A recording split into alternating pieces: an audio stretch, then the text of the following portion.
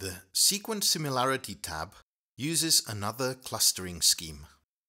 You can select templates here as well, but I am already happy with mine. Lastly, the Alignment tab is usually very important. However, in our case, we have high similarity and not many indels. If you click on the gear icon, you can select different secondary structure predictors. The effect is also shown in the structure view. We can also color the chains using the Clustal scheme. Now it is relatively easy to find the differences in the alignments we talked about earlier. If we move our mouse over the sequence, the amino acids are highlighted on the structure and vice versa. Let's go quickly back to the templates view and have a look at the extra templates we selected.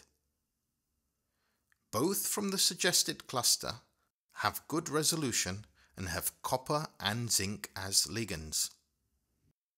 The template from the other cluster is missing copper though.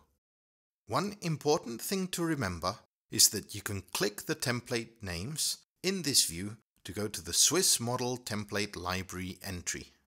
For instance, the top entry here is missing the copper.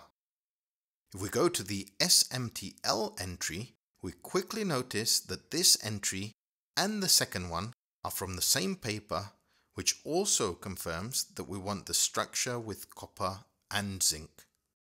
Once you are happy with the selection of the templates, all we have to do is click the Build Models button.